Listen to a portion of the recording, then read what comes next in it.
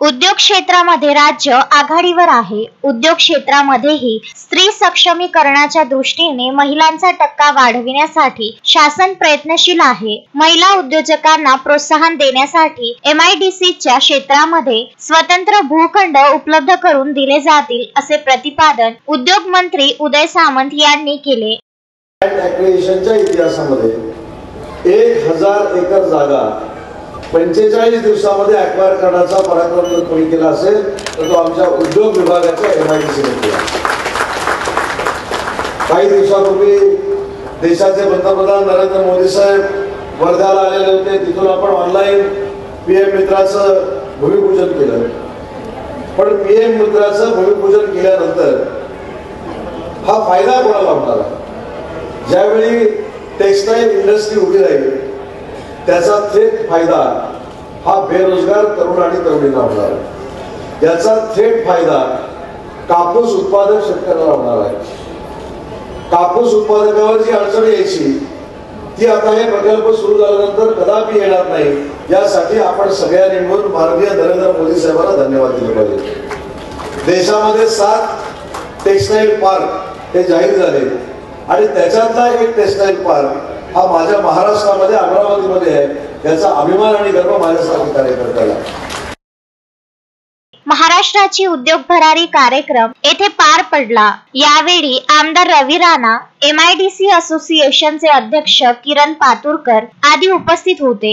ग्रामीण पातळीवर रोजगार निर्माण करणारी विश्वकर्मा योजना चांगल्या पद्धतीने राबविण्यात येत आहे. या योजनेत पन्नास हजार नोंदणी झाली. यातील तीस हजार लाभार्थ्यांना किटचे वाटप करण्यात आले. यात पस्तीस हजार युवकांना प्रशिक्षण देण्यात आले आहे. ग्रामीण पातळीवरील रोजगारासह मोठे उद्योग राज्यात येण्यासाठी उद्योग विभाग कार्य करीत आहे. राज्यातील एकही उद्योग बाहेर जाऊ दिला जाणार नाही. त्यासोबतच गडचिरोली सारख्या जिल्ह्यात स्टील क्षेत्रातील गुंतवणूक होण्यासाठी प्रयत्न करण्यात येत आहे. येत्या एक वर्षात येथील चित्र बदललेले असेल. कार्यक्रमात विविध योजनांच्या लाभार्थ्यांना लाभाचे वितरण करण्यात आले. उपेंद्र तोमर यांनी प्रास्ताविक केले तर प्राध्यापक मोनिका उमक यांनी सूत्रसंचालन केले.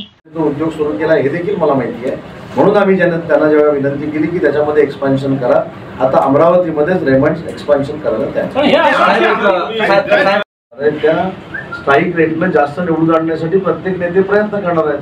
तर त्याच्यामुळं मला असं काय वाटत नाही तो लोकशाहीचा एक भाग आहे. आणि अमित शहा साहेब हे आमच्या महायुतीचे लीडर आहेत. त्याच्यामुळे त्यांनी भाजपाच्या उमेदवारांना निवडून आणण्यासाठी प्रयत्न केले. शिंदे साहेबांनी आमच्या उमेदवारांना निवडून आणण्यासाठी महाराष्ट्रामध्ये प्रयत्न केले.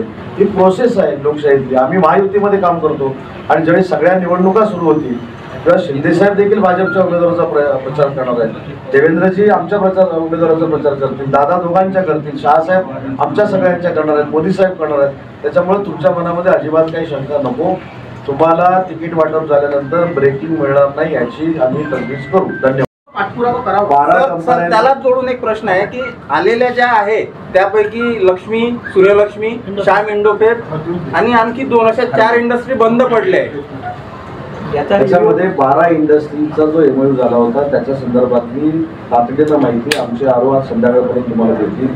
आणि दुसरी एक भूमिका आम्ही घेतलेली आहे फक्त या पी एम पार्कसाठी नाही किंवा टेक्स्टाईल पार्कसाठी नाही ज्याने नियमात असताना सुद्धा जागेचा वापर केला नाही त्या जागा काढून घेण्याचं आमचं एम आय डी सीचं धोरण आहे.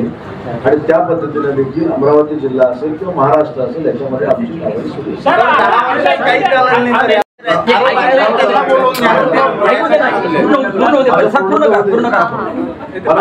पत्रकार परिषद. माझी विनंती अशी आहे की मी तुम्हाला पुढच्या चोवीस तासामध्ये आरोना इन्स्ट्रक्शन दिलेल्याचं पत्र जॉईंट सीओचं येईल. आणि दर आठवड्याला जे जे काय एम आय डी सी मधनं घडामोडी घडतील ते माहिती अधिकाऱ्यामार्फत तुमच्याकडे पोस्ट करण्याचा निर्णय होईल. आणि महिन्यातनं एकदा जे काय प्रकल्प आले जे काय प्रकल्प गेले याच्यावर महाराष्ट्रातले सगळे आरोप किंवा डेप्युटी सीओ तुमच्या बरोबर प्रेस कॉन्फरन्स घेऊन सांगतील अभिनंदन धन्यवाद. अभिनंदन भूमिपूजन झालं पंतप्रधानांच्या हस्ते वर्धेमध्ये त्याचं निमंत्रण साधं मीडियाला मिशन मुंबई सुरू झालेलं आहे आगामी विधानसभा विदर्भ न्यूज ब्युरो अमरावती